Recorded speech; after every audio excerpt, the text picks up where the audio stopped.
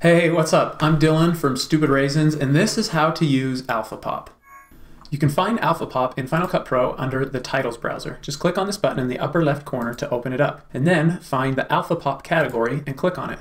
And you'll see the AlphaPop templates organized into themes. There's Slice, Slide, and Sticker. Each theme has the same templates. You've got different letter combinations, numbers, and punctuation. You can preview templates in the browser by hovering over them and scrolling with your mouse. Let's take a look at this one, sticker one letter. I'll drag and drop it to my timeline, and then I can click and drag this around just like any other clip. Let's put it over this girl right here. I can change the duration by clicking and dragging on the beginning or end to shorten it or make it longer, or I can click on the title and press Control D, and it brings up this little control here to change the duration. Just enter your new duration. Let's go for three seconds. We'll go 300 and press enter, and then let's recenter it on this clip. You'll notice right away that AlphaPop has on-screen controls in the templates. This outer ring changes the size.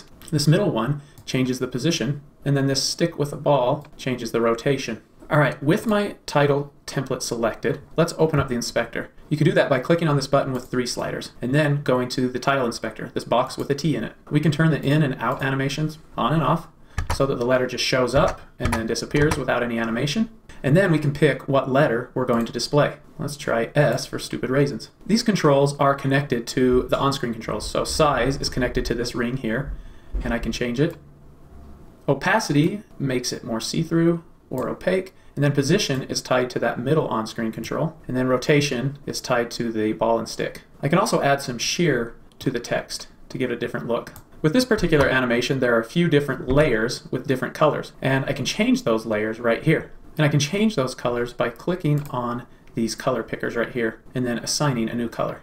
I'll do that for each one. We'll try this row of colors here, see how that looks. Let's check it out. So they animate on and then animate off. The top color is going to be color number five. You can't change the font on these. If you go to the text inspector, you have no options here. You can't change the font, and that's because all these animations are highly customized for a very specific letter or number or punctuation mark and its shape. So you can't change the font, but you can change the letters or the characters. Let's make a word. Let's play with this style called slide. I'll drag and drop it to my timeline and we're going to make it just a little bit shorter to match up with this clip. Here's what it looks like. These letters slide on. This is a really cool style. Let's turn this into raisins. First, I'm going to move it down here a little bit, and I'm going to make it just a little bit smaller. There we go. Looks good. Let's open up the title inspector, and all I need to do is just go through and pick the different letters I want. So let's write raisins. R, then we'll select A, and then we can change our colors. I want it to alternate with these three colors, so I'm just going to click and drag this first one to color 4, and then color 2 to color 5. Let's take a look.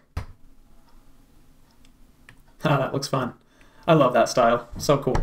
Now to do a word that's longer than 10 characters, just use two templates and their number of characters will equal however long your word is. So if you have a 11 character word, you would use the 10 letter and 1 letter templates and you would stack them on top of each other in the timeline and then use the on-screen controls to put them right next to each other. Let's make something with two words. Let's go with six letters here. We'll add it to our timeline and let's make it smaller. Move it down here. I want to match it in size with the other one. That looks pretty good. Now let's turn this into stupid. So we'll go to the text inspector and add our letters. Now let's set our color. Let's go with this blue. I want it to match that previous one. And we can also change the color of the lines in this animation. So let's click on here and let's do this lighter purple. All right, now let's get these in the right position. I'll select my top clip and I'll move this over to the left and I'll select my bottom one and move it to the right. A little too big, so we'll make both of these just a little smaller.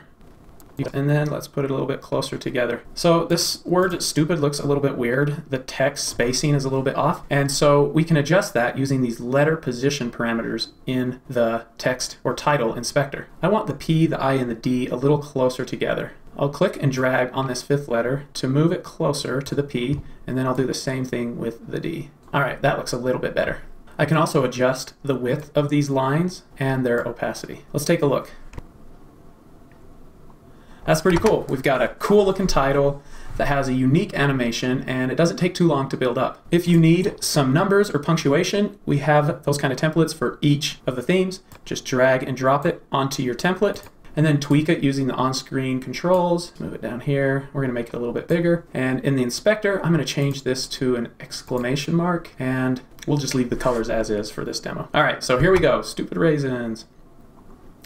Another cool thing you can do is stagger these layers so that the animations start a little bit later. So I'm going to select the top two layers and I'm going to press period to move them over one frame at a time.